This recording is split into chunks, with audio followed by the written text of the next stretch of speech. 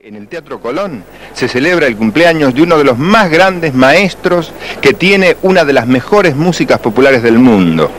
Música robusta, música interesante. El Colón vive una noche que, para los que aman la música popular argentina, para los que aman la cultura popular, será sin duda inolvidable.